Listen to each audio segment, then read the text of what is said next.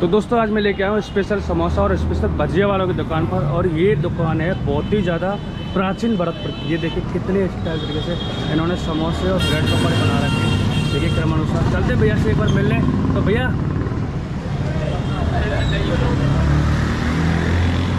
तो ये देखिए भैया के समोसे। नमस्कार भैया। नमस्कार भैया कब से लगा रहे हो आप दुकान यहाँ पर? मेरे को 20 साल हो गए। पहले हमारे पिताजी लगाते थे। जी जी जी। हाँ अब तो मेरे को हो गए 20 साल बीस साल से कंटिन्यू यहाँ पे लगाते हो? हाँ। अच्छा जी। और ये रहा है समोसे?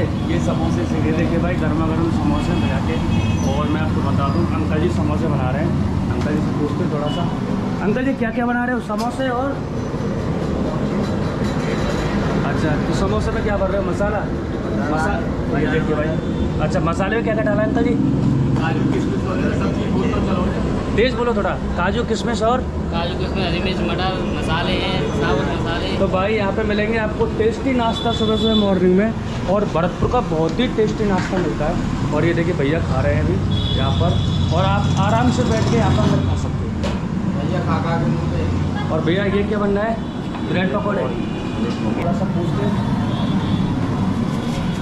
तो भैया थोड़ा मॉर्निंग में कितने बजे खोलते हो? खुलने का टाइम कितने बजे? पाँच बजे खोल देना पाँच बजे। पाँच बजे खोल देते हो अच्छा। और शाम तक? सात बजे तक। सात बजे तक। अच्छा एक बार सब बताइए क्या क्या चीज़ है? ये ये क्या चीज़ है भैया दही बल्ला है। दही बल्ला ये समोसे हैं। जी।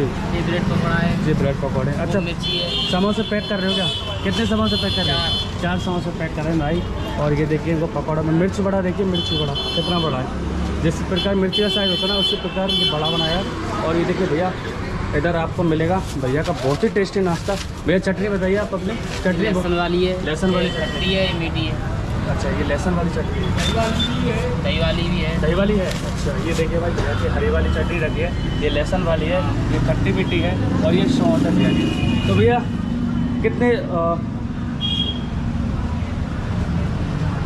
हाँ क्या चलते हैं? भैया से बधाई लेते हैं। एक और न्यू वीडियो में आप सभी से मिलूँगा। और भैया की दुकान है। भैया एड्रेस बताइए आप अपना।